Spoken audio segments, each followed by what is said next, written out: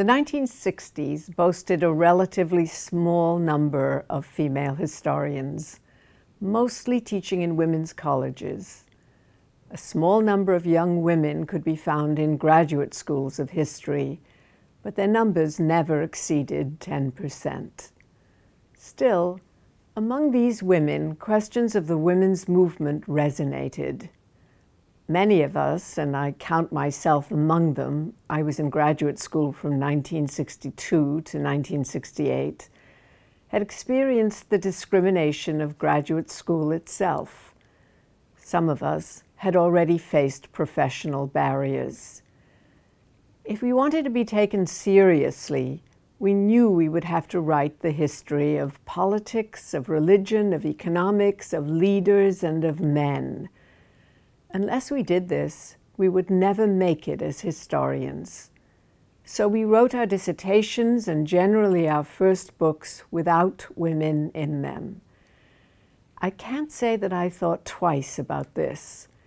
It seemed merely natural that we women would choose the kinds of topics that our male colleagues chose.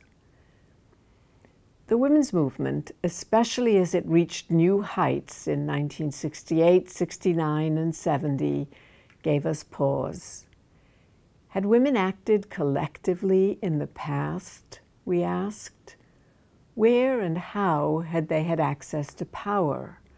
What could we learn from earlier movements for equality? Its questions were our questions, and we, we historians, were uniquely qualified to answer them. Together, we turned our attention first to professional exclusion and then to the deeper causes of that exclusion.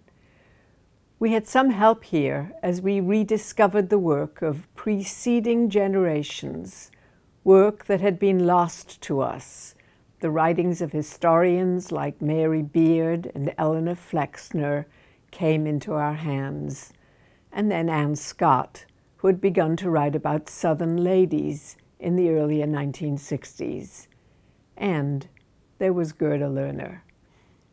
Gerda Lerner, activist, organizer, a woman who had come out of the community, a mother with two children, a PhD from Columbia that she had earned in 1967. To earn that PhD, she had written a biography of the Grimke sisters, that nobody at Columbia cared a whit about. She used to say that they had allowed her to do it because, after all, she was just a woman. The biography became, if not a best selling book, a popular textbook widely used in high schools as well as university classrooms throughout the United States. Together with Gerda Lerner and others, we, we younger historians, engaged our own politics. To access the profession, we formed an organization that we labeled the Coordinating Committee of Women in the Historical Profession, the CCWHP. Our goal in the CCWHP was to change the profession to include more women as officers in professional societies to encourage more women to present papers at conferences, to place women on journal editorial boards and in committees. We started our own journals when the establishment journals wouldn't take our pieces. We organized our own conferences when we didn't get enough papers accepted to the national conferences. We pushed for recognition of women as professionals. And crucially, we thought and wrote about styles of learning and teaching in community and in collaboration. These styles were infused with feminist, non hierarchical principles. We intended to infuse our pedagogy with a belief in human equality, and we ensured that in our teaching styles we would include all who wanted to participate. All meant women, of course, as well as a few men, but it also meant people of color, older people returning to the university, workers who had not earlier had a chance to have an education. We were historians.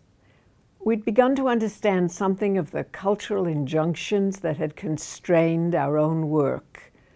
We developed a healthy skepticism about women's natural roles coming out of our own experiences in graduate school, and we knew by the 1970s that we had to use our training to expand our knowledge of our own past and to bring that knowledge to public attention.